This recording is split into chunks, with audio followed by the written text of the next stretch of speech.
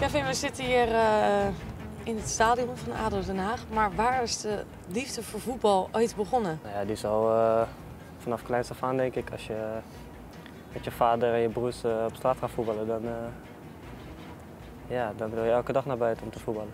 Ja, en waar was het moment toen jij of misschien je vader dacht van nou, er zit je wel wat talent in? Nou, volgens mij zag mijn vader het heel snel, hè, want mijn vader kon ook best een aardig balletje trappen. En, ja, die zag al heel snel dat ik het toch wel eh, nog iets beter kon dan hij vroeger. Dus eh, ja, zodoende ben ik eh, op voetbal gegaan. Wat staat er eigenlijk voor jou op nummer 1? Is dat voetbal of je gezin? Ja, daar vraag je wat. Nou ja, dat kan je niet kiezen, denk ik.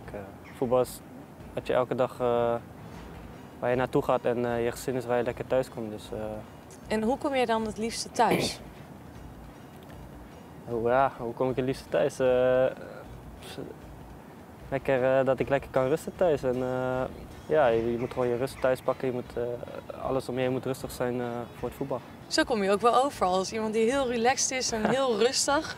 Nou, ik denk als je dit laat zien aan de rest dat ze je uitlachen. Maar Ja? Ja, nee, ja, ik kan wel druk zijn, maar zodra ik mijn rust wil pakken, dan, dan moet je me wel even met rust laten, ja. Ben je een beetje de grappenmaker van het team? En niet te grap, maar ik maak af en toe een grapje, maar ik ben best druk hoor. In de kleedkamer. Maar is het dan, Thuis ook. oh, het is in de kleedkamer dat ja, je dan... thuis of op het Ja. veld, eh, overal eigenlijk wel. Je bent nog jong, 23 jaar. Als je droomt, waar droom je dan van? Van gewoon dat ik eh, gewoon eh, lekker tot mijn 35ste kan voetballen. Heb je niet stiekem zo'n hele grote droom van, nou, misschien een buitenlandse club, wat toch wel vaak wordt genoemd? Ja, ik, zou, ik zou ook eh, in het buitenland willen spelen, maar ja, waar eh, maakt me niet zoveel uit. eh.